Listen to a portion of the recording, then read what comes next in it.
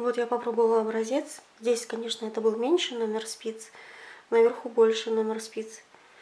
Не знаю, вряд ли будет это хорошо видно на камеру. Такой фокус показывает мне красный квадрат. Должен был показать зеленый. Ну, посмотрим. Буду все равно видео монтировать. Вот что я хочу сказать, что совершенно вот в махер тут и люрикс есть, тонкие ниточки.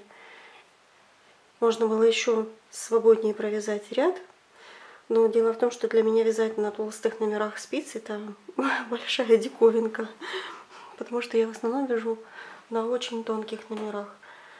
Но тем не менее у меня есть пряжа для тол ну, толстая пряжа для проектов. Могу сказать, что очень и очень хорошо. Не вытягивает люрикс, не задевает пайетки. То есть такой номер спиц толстый прекрасно подходит для тонкой пряжи. Для такой, как э, вот махер с люриксом и с пайетками. Очень красивая пряжа. Такая вот называется Махер Фанси. Но стоимость у нее очень какая-то недемократичная. Я сейчас точно не помню, но между 12 и 16 евро за 25 грамм. Я поэтому купила себе другой махер Хасигава. Бобины две штуки. Вот, но он идет без люрикса и без пайеток. А такой, конечно, мне тоже очень нравится. Но я считаю, что 100 грамм стоимость будет под 80 евро. Это очень дорого. Хотя, конечно, у него длина хорошая. 140 метров 25 грамм. То есть 560 метров 100 грамм. Получается 200 грамм хватит на 200 грамм хватит на паутинку. Ну, получается очень дорого. Да, получается... Сколько там получается? 16 на 8. Больше, больше 100 евро а, стоимость пряжи получается. Ну что ж, на этом хочу пока закончить. Я не все показала виды пряжи, потому что ну, пока просто не знаю, а, понравилось ли вам мой обзор, потому что я блогер не предметной съемки от дальних расстояний. И в предметной съемке это у меня только начало, самое-самое начало. Вот если у вас есть вопросы, напишите, я могу показать еще, как эти спицы в других пряжах. Потому что есть еще такая вот пряжа у меня, ланг кашемир в моточках. Она мне, кстати, не очень сильно понравилась. Мало пушится. Вот это образец уже постиранный. Тут я переборщила с номером спицы. Взяла как три с половиной, как пишет производитель. Но это было очень много. Для такой ажурной вязки это сильно большие дырочки. Они, конечно, должны быть, но не такие огромные. Вот. А в маленьком номере вязала вот такой бордовый образец. Этот же лан кашемир. Тут наоборот взяла сильно маленький номер спиц, два с половиной, наверное, для резинки идеальный номер спиц 3. Но что самое удивительное в этой пряже меня удивило.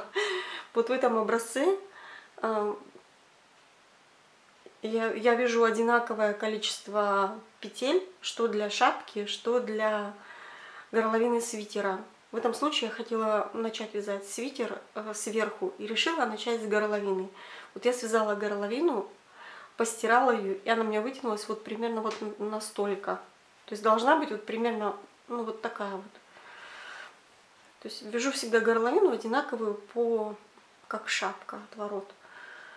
Потому что мне нравится, когда горловина, ну, не сильно расхлябанная, но, ну, конечно, не такая, что в обтяжку по шее идет.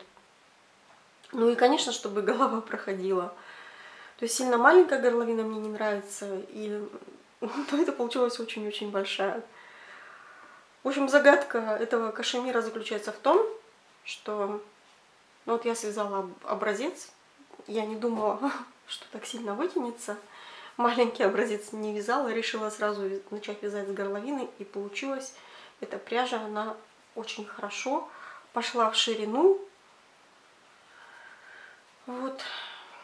У меня был так, 2, 4, 6, 8, 10, 14, 16, где-то 35 лишних я набрала. Можете себе представить? Это очень много.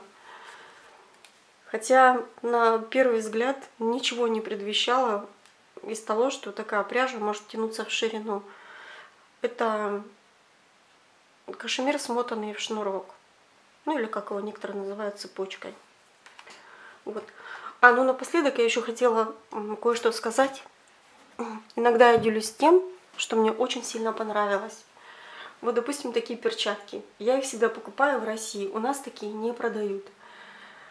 Это производство Карачаева-Черкесия или Кабардино-Балкария. У них прекрасный такой красивый цвет, серо-голубой. И такой длинный-длинный какой-то козий пух или махер. Они очень мягкие и настолько теплые, и внутри сделана резиночка. Эм, такие продают э, изделия, они на Кавказе, в Сочи продают. Вот, допустим, на Красной Поляне такие перчатки стоят ну, где-то 700 рублей. Внизу в Сочи на рынке стоит 200-250. Или в торговом центре Море Мол тоже их киоски. И там они тоже их продают недорого, там 200-300 рублей, вот так можно сторговаться. Э, вот, господи, теплее этих перчаток у меня ни разу ничего не было. Долгое время. И внутри они мягкие. И точно такого же производства у них носки. У них никогда нет этикеток, просто продают жители из Карачаева-Черкесии, вот из Кабардино-Балкарии, из тех регионов. Если их одеваешь, их прям снимать не хочется. Носки, кстати, э, вот из такой пряжи, ну, бывало такое, что мне, если я оставлю стирку, задание для супруга, то все постирать машинки. И вот несколько раз было такое, что я не углядела, и вот такие носки он стирал в машинке. И представляете, хоть бы что, то есть они не скатались в валенок, хотя это махер. Ну, наверное, догадался поставить 30 градусов или 40, а так вообще я их стираю, ну, ручная, ручная э, стирка. И более того, э, если, допустим, вот они в снегу, то вообще вот такая пряжа, она самоочищается. Я не знаю, что это за пряжа, я ее ни разу не видела в клубках или в пасмах. А, наверное, на юге, где-нибудь в Нальчике, вот в тех краях, наверное, и пряжу такую продают. Но это машинное вязание. То есть такие я покупаю готовые. Вот, машинное вязание. Тут, ну, видно, где-то какие-то там ниточки есть, но никогда ничего не распускается. Носки, ну, пока у меня еще не протирались.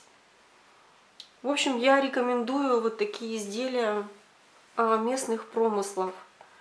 Не представляю, что это за пряжа. Ну, конечно, понятно, что это шерсть.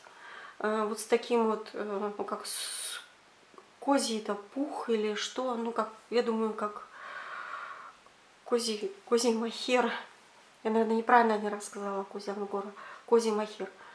В общем, если кому такие попадутся для холодных регионов, я рекомендую. Это очень теплое изделие. Прекрасное. Ну все, на этом пока. Если у кого есть какие-то вопросы или пожелания, пишите мне. На следующей неделе у меня будет выходной день, я постараюсь исполнить ваши просьбы. До свидания.